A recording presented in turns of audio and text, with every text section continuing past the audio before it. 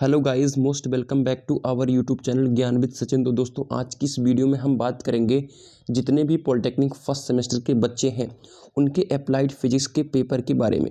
किस तरीके से आपका पेपर आता है, वहाँ पर क्या आपको करना होता है, किस तरीके से आपको पेपर क्वालिफाई करना है किस तरीके से क्वेश्चन अटेम्प्ट करना है, आज के इस वीडियो में पूरे नए पेपर के साथ एनालाइज करेंगे और आपको पता चल जाएगा कि आप सभी का जो भी पेपर आता है, आपके पॉलिटेक्निक फ़र्स्ट में अप्लाइड फिजिक्स का, अप्लाइड केमिस्ट्री का, वो किस तरीके का होता है, किस तरीके की प्रिंटिंग होती है और हमें सबसे पहले कौन सा क्वेश्चन अटैम्प्ट करना चाहिए या लास्ट से करना चाहिए, बीच से करना चाहिए, पहले से करना चाहिए और हमें किस तरीके से कॉपी में लिखना है, उन सब के बारे में आज के इस वीडियो में डिस्कस करेंगे। तो वीडियो बहुत इंपॉर्टेंट होने वाली है आप सभी के लिए तो वीडियो को अंत तक एंजॉय कीजिए और जो भी स्ट्रेस है आप सभी के दिमाग में, उसे निकाल फेंकिए और वीडियो को पूरा वॉच कीजिए। कहीं ना कहीं आप सभी बिल्कुल फ़र्स्ट सेम में अच्छा करने वाले हो।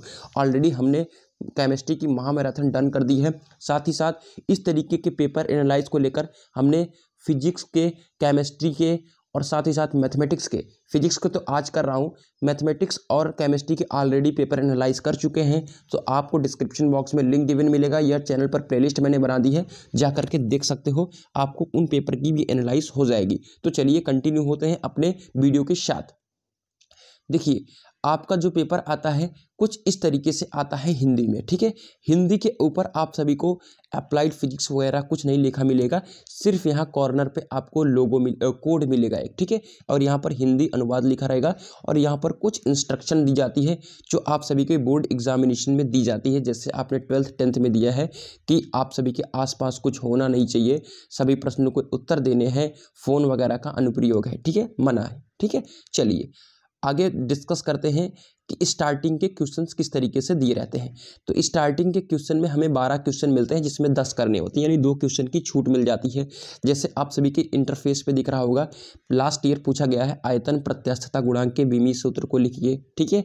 उसके साथ साथ ही ए तथा वी का अधिस गुणन है, ठीक है? बहुत ईजी था। साथ ही साथ तीसरा था, सार्थक अंकों की संख्या लिखिए, ठीक है? अब चौथा है प्रतिबल के मात्रक को लिखिए, बहुत सरल था। साथ साथ ही हार्मोनिक दोलन की स्थिति ऊर्जा को दिया जाता है तो अगर आप इसे नहीं आता तो छोड़ देते। रेखी संवेग और कोणी संवेग के बीच में संबंध जी का मान किस पर निर्भर करता है? ठीक है, चलिए। एक वाट बराबर है कितने अश्वशक्ति के? उसको दिया गया है आप सभी को। साथ ही साथ पूछा गया है जड़त आगुड़ तथा घूर्णन त्रिज्या के बीच में क्या संबंध है? ठीक है।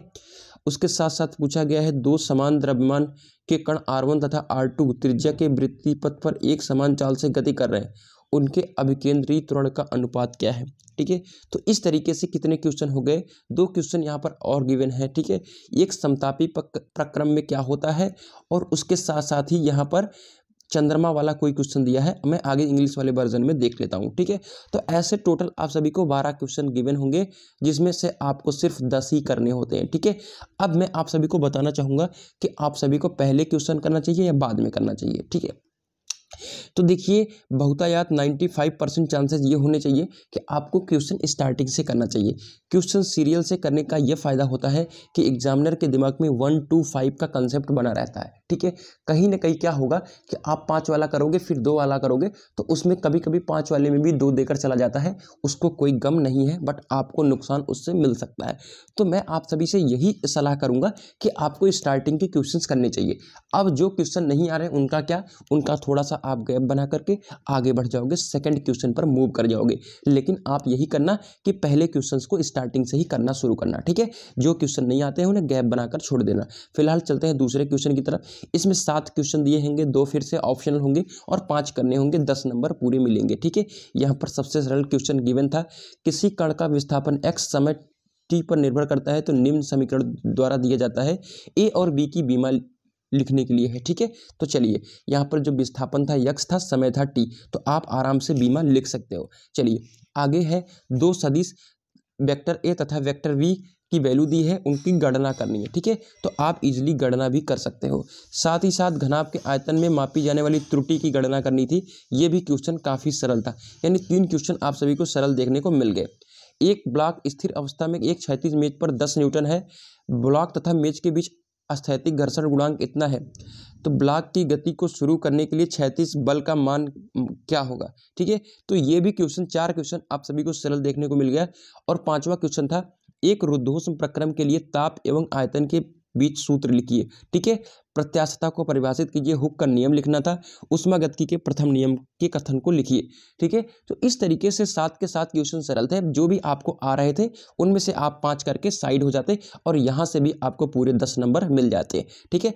फ़र्स्ट क्वेश्चन जो आप था, दस नंबर का, उसमें से आठ नंबर और इसमें से भी दस नंबर का करोगे तो आठ नंबर आप सभी को मिल जाते हैं, ठीक है? तो चलिए, इस क्वेश्चन इस क्वेश्चन जो आप सभी ये क्वेश्चन पेपर देख रहे हो, इसी क्वेश्चन पेपर को मैंने भी बोर्ड एग्ज़ाम में देकर आए थे और इसी बोर्ड एग्ज़ाम में मैंने फोर्टी थ्री स्कोर किए थे तो बिल्कुल अच्छा स्कोर मिल गया था अप्लाइड फिजिक्स में भी आप सभी के आशीर्वाद से। चलिए, ठीक है? तो अगला क्वेश्चन मूव करते हैं, वो क्वेश्चन है, अभिकेंद्रीय बल को परिभाषित कीजिए और एग्ज़ाम्पल दिया क्वेश्चन न्यूमेरिकल दिया था, जिसे आप सभी को करना था, ठीक है? तो मैंने न्यूमेरिकल छोड़ दिया था, ना अभिकेंद्रीय बल को परिभाषित किया था, मैंने सीधा जड़त आगुण तथा गुणन त्रिज्या को परिभाषित किया था और समांतर अच प्रमेय के कथन को लिख दिया था। साथ ही साथ संरक्षी बल को परिभाषित किया था।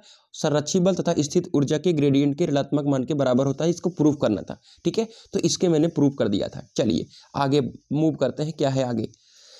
कि घर्षण क्या है, ठीक है? तो यहाँ पर मैंने घर्षण को डेप्थ में आप सभी को बोला था कि घर्षण क्या है, समझ लो। तो घर्षण क्या है? सीमांत घर्षण के नियम को लिखना था, ठीक है? और दैनिक जीवन में उपयोग। तो घर्षण के दैनिक जीवन में क्या क्या उपयोग है, आप सभी को आई थिंक पता होंगे। ग्रहों की गति के केपलर नियम, इसे भी आप इजिली बता सकते हो। और सबसे इंपॉर्टेंट और सबसे सरल क्वेश्चन गिवन था, ये आप सभी का उष्मा चलकता गुणांक को परिभाषित करना और न्यूमेरिकल यहाँ पे पूरे पाँच नंबर मिलते बट अगर आपको न्यूमेरिकल नहीं समझ में आ रहे थे तो इसे आप थ्योरी करके चले जा सकते हो। मैंने ऑलरेडी आप सभी को बताया है कि थ्योरेटिकल पार्ट अगर आप पढ़ के जाते हो तो फिर भी आपको फिफ्टी आउट ऑफ़ फिफ्टी के पूरे चांसेज होते हैं, क्योंकि न्यूमेरिकल आपका ऑप्शन होता है, और मैंने भी न्यूमेरिकल बिल्कुल छुआ भी नहीं था। चलिए, आगे है पृष्ठ तनाव को परिभाषित कीजिए और केसिया उन्नीन विधि से जल के पृष्ठ तनाव को गांत करने की विधि का वर्णन कीजिए। और फिर मैंने दोनों क्वेश्चन लास्ट वाले दोनों क्वेश्चन किए थे, कौन से किए थे? ठोस के रेखी क्षेत्रीय तथा आयतन प्रसार गुणांक को परिभाषित किया था और बर्नौली प्रमेय को किया था, ठीक है? तो बिल्कुल ईजिली में हमको नंबर पूरे मिल गए थे फोर्टी थ्री के स्कोर में, ठीक है? तो इसी तरीके से आपको भी अटेम्प्ट करना है, बहुत ईजी होता है क्वेश्चन जो भी इंग्लिश मीडियम के हैं वो क्वेश्चन को देख सकते हैं। कि इस तरीके से आप सभी को क्वेश्चन देखने को मिलता है। टाइम दो घंटे तीस मिनट अप्लाइड फिजिक्स मेरा ये रोल नंबर था और मैक्सिमम मार्क फिफ्टी, आपको मिनिमम मार्क सत्रह यहाँ पर लेने होते हैं और इसी तरीके से आपका क्वेश्चन गिवन होता है। ठीक है? यहाँ पर प्रिंटिंग होती है। देखिए, नौ बजे का एग्ज़ाम, आठ बजकर दस मिनट सत्ताईस सेकंड की प्रिंटिंग। तेईस मार्च को एग्जामिनेशन था तो इस तरीके से आप सभी का एग्जामिनेशन कंडक्ट करा जाता है। इस तरीके से आप सभी को एग्जामिनेशन देखने को मिलता है। ठीक है? तो जो लास्ट क्वेश्चन मैंने देखने की कोशिश की थी, वह थी the value of escape velocity. On moon compared is earth ठीक है? तो जो स्केप वेलोसिटी का मान होता है, वो चंद्रमा की कंपेयर में अर्थ पर क्या होता है, ठीक है? बराबर होता है, कम होता है, ज़्यादा होता है, इसको आप सभी को डिफाइन करना था। चलिए तो आज की इस वीडियो में इतना ही दिखाना था आप सभी को कि किस तरीके से आप सभी का एग्जामिनेशन होता है और एग्जामिनेशन पेपर किस तरीके से आप सभी का आता है, ठीक है? तो यही था आपका ओरिजिनल पेपर और इसी तरीके से आपको देखने को मिलता है। फ़िलहाल मिलते हैं एक नई वीडियो के साथ, तब तक के लिए good bye tata love you all